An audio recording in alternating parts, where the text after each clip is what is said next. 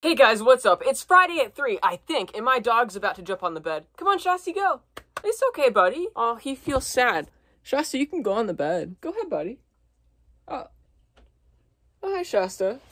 Hello, buddy. I have to film, okay? This is my best friend right here. Okay, I gotta film now. He might be hanging out here in the background, but that's okay. You guys don't mind, right? Like, he, he can hang out here. This is Shasta, by the way. He's my five-year-old Siberian Husky. Say hello, Shasta.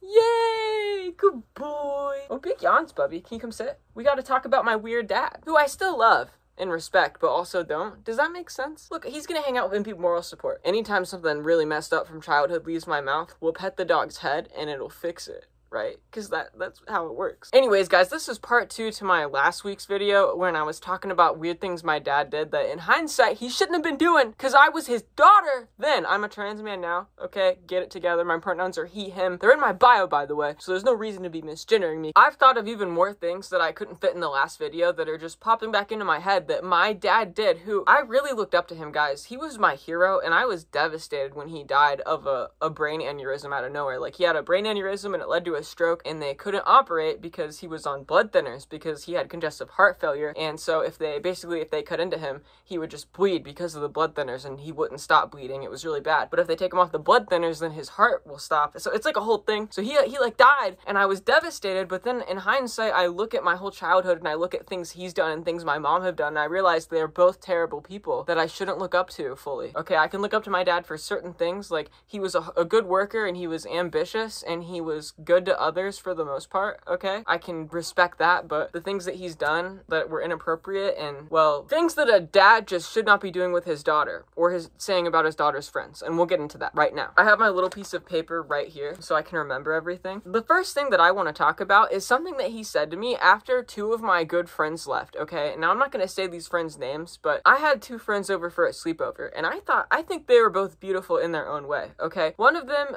looks like me, okay? Has the same body type as me, but the other one was like a size, I don't know, 16. Not not that much different, okay? I'm like a size 8, but I can be a size 6 sometimes. It just depends. I thought my friends were beautiful, okay? They were good people. They tried their best for as long as they could to support my situation when I was a kid with my mom getting arrested and stuff. Um, sadly, we had a falling out because I'm just an, an ass, but that's a story for another time. After they left, my dad made this comment to me that I'll never forget, and he said, How come you never bring any tens around the house? And I'm like, Huh? And he's like, You never bring any girls around that are as pretty as you or even prettier. You you always bring around fat girls. Why do you bring around fat girls? And then he goes on to say, "Do you have some complex or something? Like you don't want to have friends that are prettier than you?" And I'm like, "Where are you getting this from?" And he just says, "Everybody you bring over is like overweight. I just don't understand why you don't hang out with girls that look more like you." And I'm just thinking like this isn't Mean Girls. This isn't TV. I can't pick and choose who the friendliest people at my school look like. Maybe the reason I don't hang out with the skinny pretty girls is because they're not very nice, Dad. Okay, they're clicky and I have nothing in common with them. They're going on about Sephora and boyfriends and I like warrior cats and I'm queer, okay? I did not fit in, okay? And that's literally what I told him. I just told him that I didn't pick these friends because of the way they looked. They were just the nicest people in my class that were sitting near me at the time. I don't understand where this is coming from. What do you mean? Why am I not bringing over pretty friends? And then I went on to say, you don't think blank is pretty? Because my one friend, I just thought she was gorgeous. My dad was like, ah,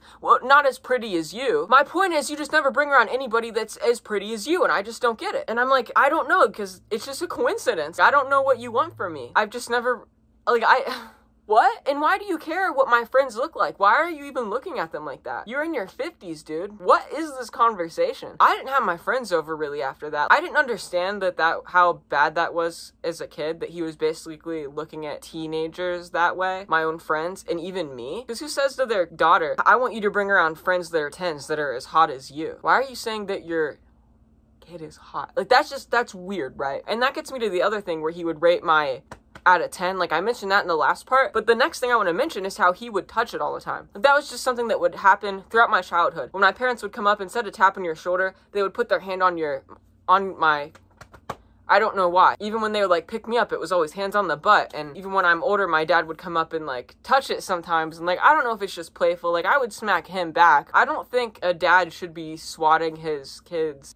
Especially when they're older, like as a teenager. I don't think that should have been happening. I just think that's kind of weird. That's something you do with your wife, which is why I, I believe me and my dad were dealing with enmeshment or emotional I N C E S T Look that up because that's something that happens between a parent and a child if the parent is having issues with their spouse. They can start looking at the kid and treating them like a spouse. That's why he got jealous whenever I would go out with a guy. There were some guys that he was okay with. A lot of the times he just wouldn't like my partners. Now, there were valid reasons, but sometimes it just didn't make sense. Like, why can't I come home, visit you, and then go see my partner like my older brother does? He would get mad, like, you're using me as a bouncing pad. It's like, no, I could have drove straight there and saved more time. I came here because I thought it'd be nice to see my dad, go there, spend the night, and then come back and see you more. I could have just went there, spent the night, and went to back to college and not seen you at all, dad. I'm doing you a favor by coming here. He was jealous, okay? That I wasn't gonna cuddle with him. I was gonna cuddle with somebody else. I was growing up and pulling away from him. Weird stuff weird stuff. I'm petting the dog. Someone zoom in on the dog's face if you can and, and post because I can't. I bet it looks really funny. The next thing I want to talk about is like one of the worst ones, okay? He would comment on my teammates, okay? I ran cross country and track and I was pretty good, I'm not gonna lie, for a little bit. And then I like started to suck because like I started to not care and the pressure was too much for my mom and everybody and there was stuff going on. And damn it, my mom got arrested my senior year and my coach still expects me to run a 19. No, I can't, okay? My body's fatigued from dealing with my mom, okay? My body's fatigued from stress, man, and fear, okay? I'm just trying to survive right now. I don't care if we go to state or not. I just want this shit to be over. Anyways, that's for my old coach if he's watching. I still respect you, man, but I don't I don't get why you coach like that. I don't like what you did.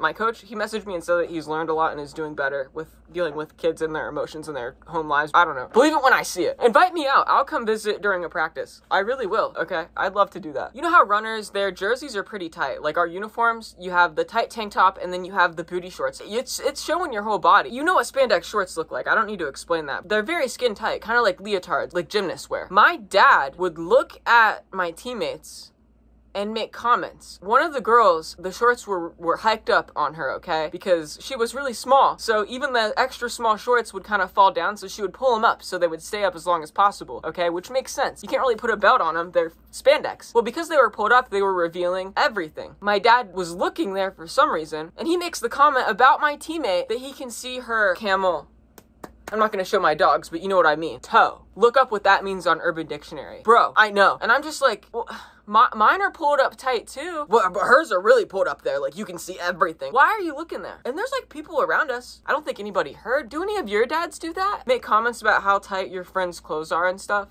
Is that just mine?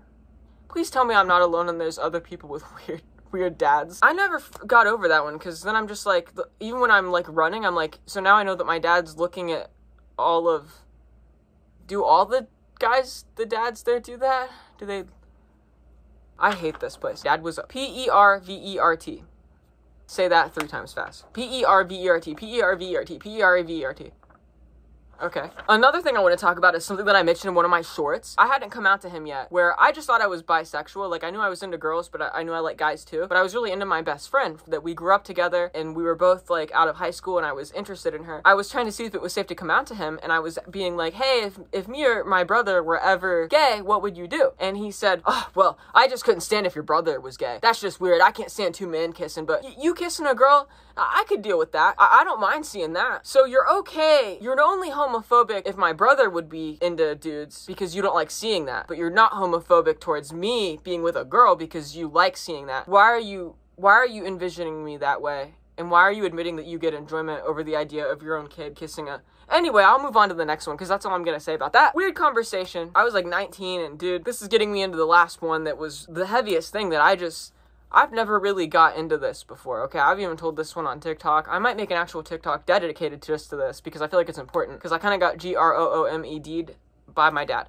So this last thing is about how me and my dad would do this thing called Pocky. Now Pocky is like this foreign candy that you get in the foreign aisle. It's like a pretzel stick with a coating on it, and they're really good. Pocky is basically code for rubbing each other's feet or back rubs, and he had one foot, so basically I would rub his foot for 10 minutes. He'd rub each of mine, five each. Sometimes I'd rub his back and he would rub mine. And I would take off my shirt, but I'd still have my sports bra on. I was used to running in a sports bra for sports, so it wasn't weird for me to be in the sports bra. I didn't think anything of it. A girl might take off her shirt and be in a sports bra with her mom as they're in the living room watching TV. My dad was like my mom and dad, so it wasn't weird for me to do that around him. So I would literally have my shirt off and my dad would be lotioning me. I know that sounds weird, and I would lotion him back and his would be off, but we'd have our pants on. Sometimes though, he would get tired of having his prosthetic leg on because it would start to hurt. He would get like phantom pain. You can look up what that is. It's a horrible thing to deal with. Sometimes I would have to rub areas of his stump where the nerve was. His big toe that wasn't there would stop itching or hurting. Like it was so weird. Phantom pain isn't is just an interesting thing to me, but it sucks to deal with. So I'm sorry if you deal with phantom pain. But he would want to go lay back in his bed, and when he would go lay back in his bed, he would take all of his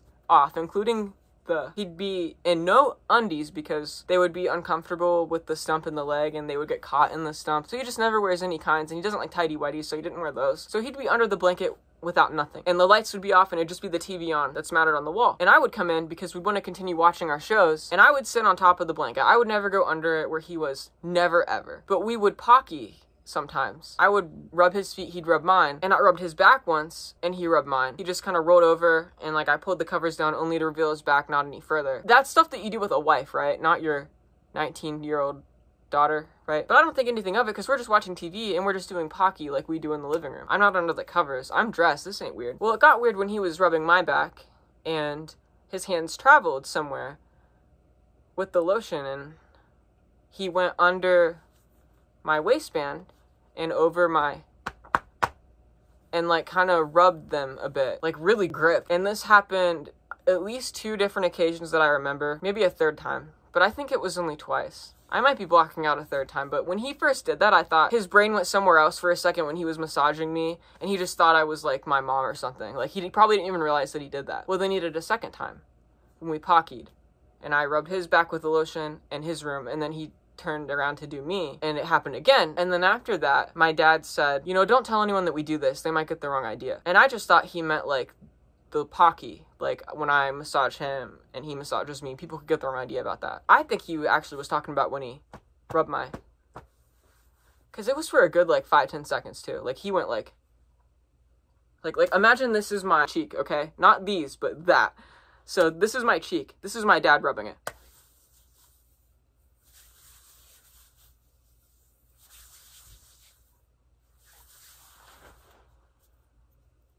You don't accidentally do that that long and it doesn't happen twice okay? He knew what he was doing and when he said don't tell anybody he was talking about that and i was naive and i was like there's no way my hero who saved me from my horrible mom would purposely g-r-o-p-e my right now. That's not what's happening.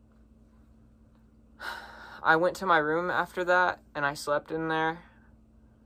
But before i slept i cried because i was in denial. I ended up pushing it down everything that happened at night made excuses and I said, nah, he he meant the just the massaging in his room because people could look at that wrong. We're just really close though. It's not weird, but it was weird, and I don't really have excuses to make for it anymore. And I just want to tell people because I maybe somebody else has experienced something similar and was trying to tell make excuses for the parent for their hero that shouldn't be a hero anymore. And I just now I accept that my dad's not my hero, and he sh- he never really should have been but it was really hard to deconstruct that because now I don't have a hero. I'm my own hero. You know, I'm here, I got here all myself. You know, I transitioned even though it's socially unsafe and I'm making money the best way I can, doing what I love.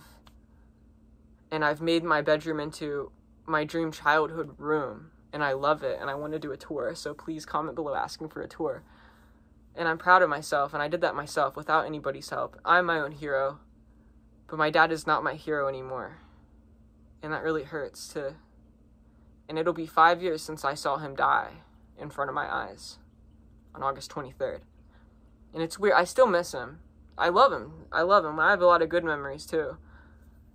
But that one sticks out, and I'll, I'll never, I never got to have a conversation with him as to why he did that. And I think if he knew that it made me feel horribly uncomfortable, and he, if he knew that he made me cry, I think he would have felt terrible and never done it again. I do believe that. But I wish I could ask him why he did it. Maybe his mind wandered and he thought I was my mom, but how could that happen twice? And why would it be for like 10 seconds each time? Like, that's a long time to be in that area. So, let me know what you guys think. Anyways, if you guys liked this video, leave a comment below. Please subscribe because it really helps. And next week will be better. I'll do a poll and we'll do like maybe a story where I got in a fight or something funnier. I will talk about the fight I got in with my friend's mom when the mom moves out because I don't want them to anyone to see that video and show her and make it weird here. But I'll tell that story when it's appropriate and I'll be fair to both parties because she has her own story and i was kind of i was an asshole that night. That's how you grow is by making mistakes and i'm just glad that it didn't escalate more than what it did. But anyway if you guys like friday at 3 let me know. I saw a lot of friday at 3s i saw i also saw saturday at noons. I need maybe i'll just do a poll for that too because i need to know what you guys like better. So i'm to do a poll for that. It's probably to be 50-50 and i'll be like damn it.